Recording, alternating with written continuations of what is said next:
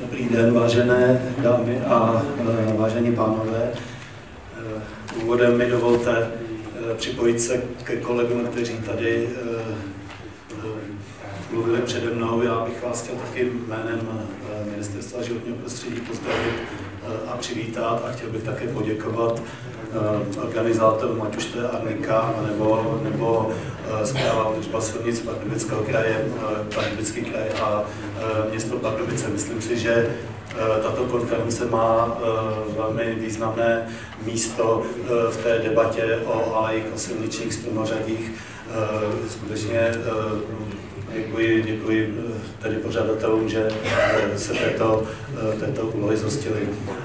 Já bych vás chtěl tedy ještě jednou pozdravit jménem ministerstva. Já jsem z odboru obecné ochrany eh, přírody a krajiny, měl tu vystoupit pan eh, ředitel odboru Klápště, eh, účastnit se nemohl, ale snad ho, snad ho zastoupím. Takže ještě jednou, jednou vás pozdravuji. Ministerstvo dlouhodobě se samozřejmě tématikou ochrany dřevin Eh, alejí a stromořadí eh, zabývá, ať už, eh, ať už metodicky nebo, nebo koncepčně a pochopitelně i nastavováním finančních nástrojů na podporu alejí a stromořadí. O tom tady bude, bude jistě ještě dneska, dneska řeč já delší, delší dobu vnímám tu, tu debatu, ona se nějak uh, skutečně vyvíjí uh, od, uh, od takových pozičních, pozičních bojů nebo, nebo někdy válek, kdy jsme skutečně hájili, hájili každý strom až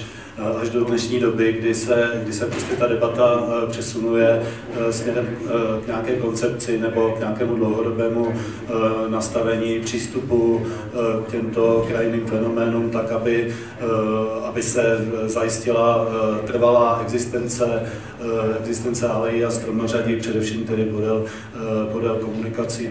Jinde, jinde snad té krajině mm, takové problémy eh, nejsou, protože tam nejsou ty konflikty, o kterých tady eh, třeba mluvil pan ředitel Němec. Eh, já se s asi to bude nejlepší, se takhle na to tady budu dívat, dívat na tu obrazovku, abych se musel moc otáčet zády k vám.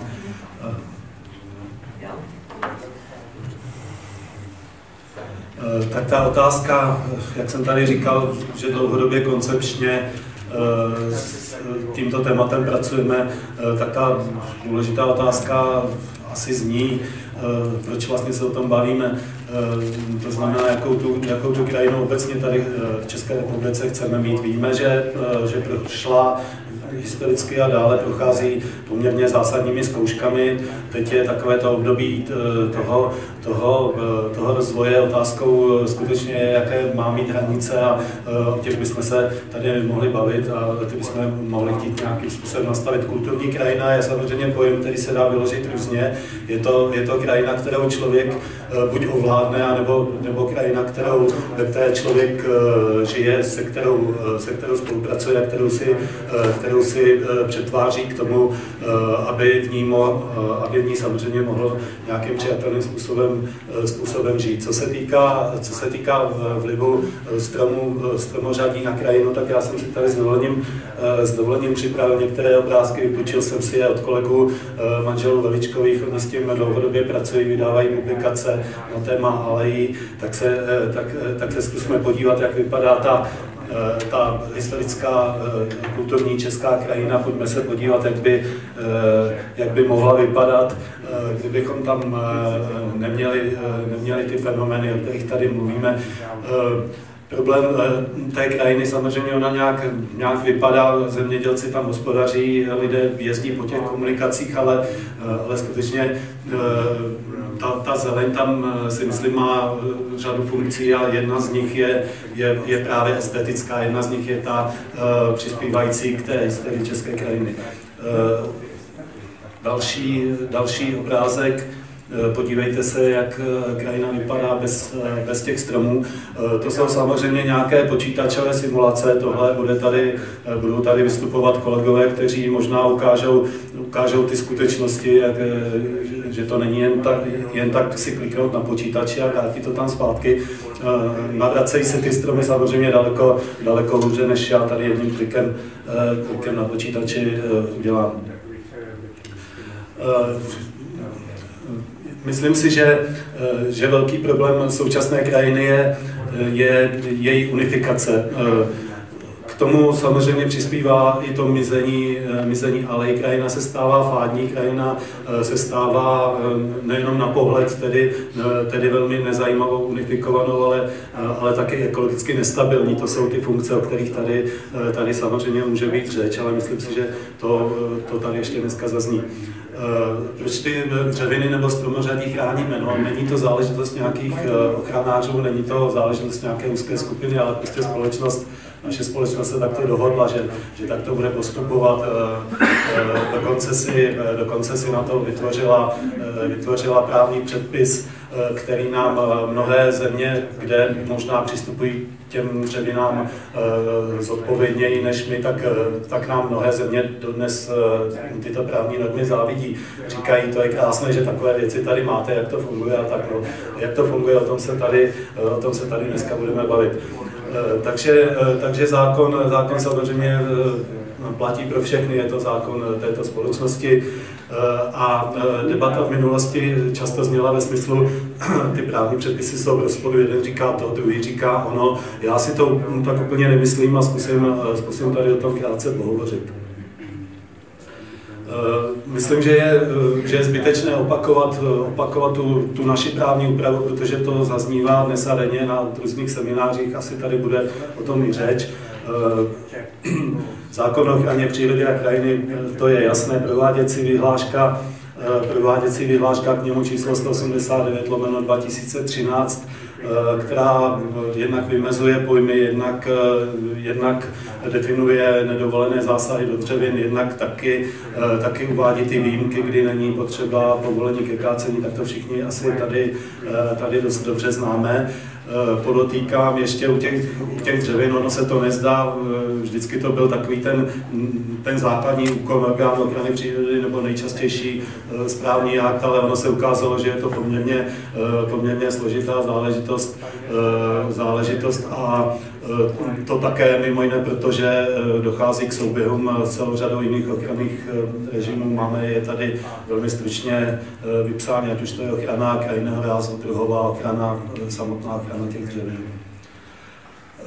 Ministerstvo, já jsem to tady, já jsem to tady říkal, říkal na začátku, podstatnou částí je ta je metodická činnost. My jsme, my jsme přistoupili Eh, je to už asi tři nebo čtyři roky eh, ke zpracování metodického pokynu eh, pro orgány ochrany přírody, ale nejen pro ně, mělo to sloužit jako informace pro vlastníky, pro správce těch dřevin a tak dále, zpracovali, zpracovali metodickou instrukci k těm postupům podle už zmíněného zákona o ochraně přírody a krajiny, protože se, protože se vzhledem ke dřevinám teď od 1. dubna změnil eh, zákon o ochraně přírody a krajiny, tak eh, ta instrukce byla, eh, byla aktualizovaná, je umístěna na webových stránkách Ministerstva životního prostředí. Trošku se tam hledá, ale určitě to, určitě to najdete. Mám tady i odkaz, ono to není moc dobře vidět, ale, ale prezentace bude, bude dostupná, takže si kdo bude mít zájem, tak tak se samozřejmě na to může, může podívat. Eh, podobná metodická instrukce je také eh, k aplikaci té vyhlášky 189 2013, také na stránkách eh, MŽP. Co je zajímavé, jsou právě ty vztahy k jiným právním předpisům. Pokud budeme mluvit o alejích podél nebo stromořadích podél komunikací, tak, tak zmíníme, nebo chtěl bych zmínit, zmínit ty předpisy, které o dřevinách nějakým způsobem eh, mluví a vlastníkům nebo správcům ukládají eh, nějaké povinnosti, ty právní předpisy, tak zmíním především zákon o pozemních komunikacích číslo 13 lomeno 1997, kde důležitý paragraf 15 odstavec 1, který definuje vlastně ty funkce dřevin vůči pozemním komunikacím a jejich využití dřeviny podle tohoto ustanovení nesmí nesmí ležovat bezpečnost užití pozemní komunikace, to je asi ta podstatná, to je asi to podstatné ustanovení, které správci komunikací velmi často využívají a samozřejmě to je, to je pro ně, to je pro ně zákonem, zákonem daná povinnost udržovat dřeviny v takovém stavu, aby, aby neznemožňovali nebo neohrožovali bezpečné užití pozemních komunikací. Eh, co se týká toho dalšího ustanovení, které, eh, které, tam, eh, které tam zmiňuji, tak ono okolo tohoto ustanovení bylo v minulosti také, také celá řada nejasností. Vykládalo se to občas tak, že, že správce komunikací má povinnost odstraňovat ty dřeviny ono to tak úplně asi není, spíš, to, spíš je to oprávnění nebo spíš je to právo zasahovat do těch dřevin nebo, nebo Eh, případně i je kácet eh, v případě, že eh, dřeviny nerostou na pozemcích správců komunikací. Co je, co je docela zajímavé, je prováděcí, co je docela zajímavé vůči teda dřevinám a vůči ochraně přírody a krajiny je prováděcí vyhláška k zákonu o pozemních komunikacích číslo 104 1997 Eh, která v tom stanovení, které tam máte, paragraf 22 odstavec 1, eh, říká, že při přípravě a provádění staveb a stavebních úprav komunikací se vychází z požadavků eh, ochrany přírody a životního prostředí podle zvláštních předpisů. Zde je zvláštním předpisem míněn tedy především zákon o ochraně přírody a krajiny, případně jeho prováděcí vyhláška. Takže vidíte, tady jsou zájemné vazby mezi ochranou přírody a zajištěním, eh, zajištěním zprávy eh, dřevin podél komunikací, takže eh, je předpoklad, nebo dalo by se předpokládat, že i správci komunikací, jejich, jejich projektanti, projektanti těch úprav by měli i v souvislosti s tímto ustanovením dbát na to, aby zeleň u komunikací byla trvale udržitelná, aby se tam, aby se tam zajistila její trvalá existence. O to nám asi společně jde, nebo by mělo jít. Jaká je, jaká je budoucnost stromořadí z pohledu Ministerstva životního prostředí? Myslím si, že tak jak už jsem, jsem říkal, měli bychom, měli bychom se dostat k nějakému postupem času k nějakému, ono to jde pomalu samozřejmě, ale, ale nějaký ten posun tady zaznamená samozřejmě je. Měli bychom, měli bychom, nebo snažíme se přistupovat k tomu problému systémově, to znamená nejen, nejen se trvávat na pozicích ochrany přírody a krajiny, což je, což je samozřejmě ze zákona ta naše prvořada povinnost, ale vnímáme i problematiku v těch zájemných diskuzích, vnímáme i problematiku správců, správců komunikací, majitelů pozemku a tak dále, takže snažíme se samozřejmě hledat nějaká, nějaká společná řešení.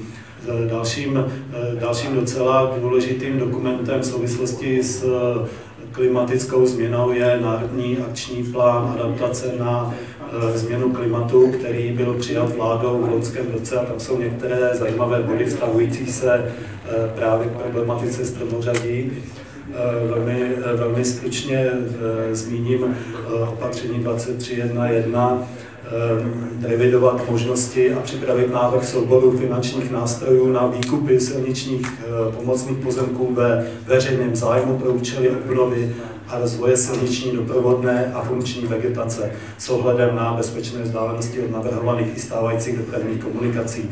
Určitě tady ten problém nedostatku pozemku nebo nedostatku místa u komunikací bude zmínit pan ředitel Němec, už ho tady, uh, už ho tady i zmiňoval. Dalším opatřením v Národním akčním plánu zpracovat metodický pokyn pro správce komunikací a orgány ochrany přírody ve vztahu k adaptaci na změnu klimatu a aktualizovat technické podmínky vysazování a ošetřování silniční vegetace s ohledem na adaptace na změnu klimatu.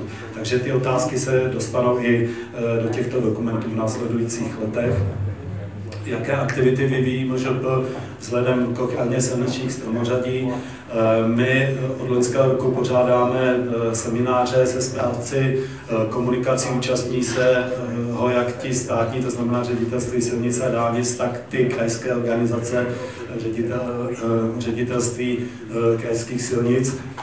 Pořádali jsme ty semináře zatím, zatím tři v loňském roce v Jihlavě a v Karlových Varech v letošním roce byl minulý měsíc na ministerstvu životního prostředí. Eh, účastní se mimo ministerstva těchto akcí a mimo, mimo silničářů samozřejmě eh, AOPK, účastní se ho eh, krajské úřady, takže to zastoupení je tam poměrně široké a reprezentativní.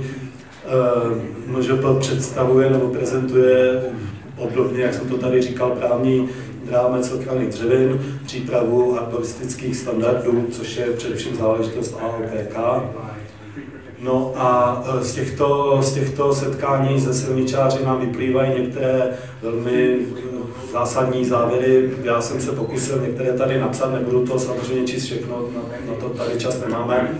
E, co je, co je důležité, že, jsme se, že se shodujeme se silničáři aspoň, aspoň oficiálně nebo na venek, když chápu jejich problémy v tom, že dřeviny, stromy mají místo podél komunikací. Eh, hlavním posláním eh, silniční eh, zeleně je ta doprovodná funkce dnes, to, na, tom jsme se, na tom jsme se také shodli i v souvislosti tedy s adaptací na změnu klimatu. Co se týká nezbytných zásahů do dřevin, myslím, že tam došlo taky k určitému posunu od, od zásahů, které byly věč, ve velké většině případů poškozující. Dneska silničáři mají školené osoby, znají ty postupy, a k těm poškozením dochází eh, těmi zásahy čím dál eh, v menší míře. Eh, trošku nám do toho vnáší nejasno nový občanský zákonník, on už není teda úplně nový, to tady bude asi zmiňovat daleko detailněji paní doktorka Jelinková, tak já se o tom zmiňovat nebudu. A co se týká dotačních nástrojů jako takových, tak obecně, obecně je názor, že Eh, ta složitost eh, při čerpání eh, v mnoha případech odrazuje i správce komunikací vlastníky pozemku k jejich čerpání, to je jedna věc. A druhá věc je samozřejmě, tam zaznívá jako červená nic se tou diskuzí táhne, táhne to místo pro obnovu stromořadí, vysazování a tak dále. Chceme dosáhnout i ve vztahu k zemědělcům změny dotačních pravidel, to znamená těch přímých pladeb na pozemky, kdy se dneska zemědělci spíš vyplatí tam vysadit otěžku, než tam než akceptovat nějaké dřeviny a to dokonce na, na, na sousedních pozemcích. Eh, vzhledem k tomu, že čas eh, pro to vystoupení se, eh, se nachýlil, já tady jenom stručně vidíte, je tu několik dotačních titulů na financování údržby a vysazování dřevin. A z mé strany všechno. Takže ještě jednou vám děkuji za pozornost a přeji zdar této konferenci.